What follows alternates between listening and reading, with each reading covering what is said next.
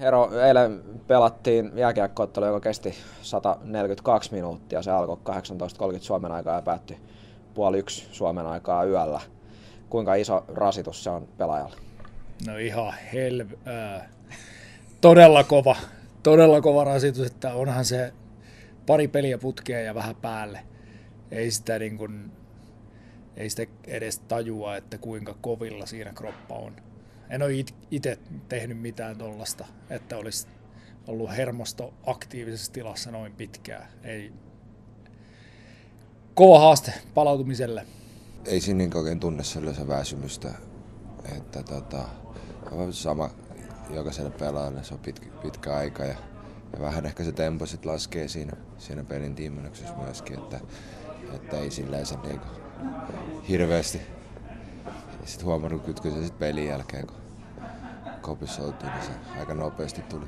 Mä teen ennen peliä jo teen erilaisia juomia tavallaan valmiiksi sinne, nesteytysjuomia ja palautusjuomia, joita sitten jaettiin siinä pelin aikana, mutta tietysti peli venyi noin pitkäksi, niin sitten tehtiin lisää.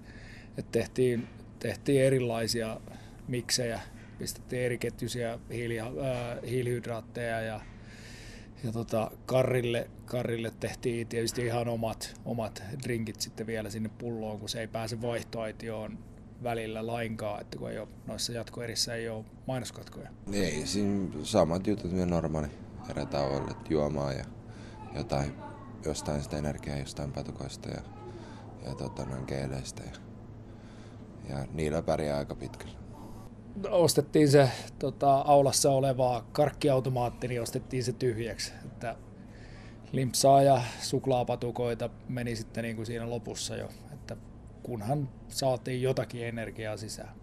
Kyllähän sitten huomaa ja tuntee, että on pelannut, pelannut paljon, mutta tota noin, ei se mitään tämmöistä tähän välillä. Kyllä me oltaisiin taisteltu ihan, ihan niin kauan kuin valot on päällä hallissa.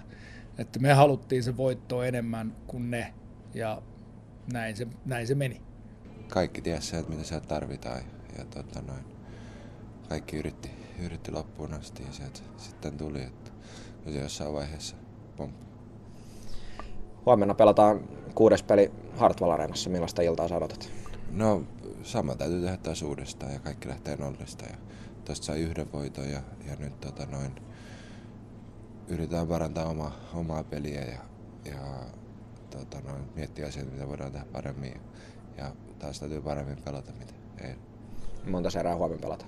No, toivottavasti pelattaisiin saataisiin kolmessa ja poikki, mutta mitä tarvitaan, niin monta pelata. Jes, kiitos.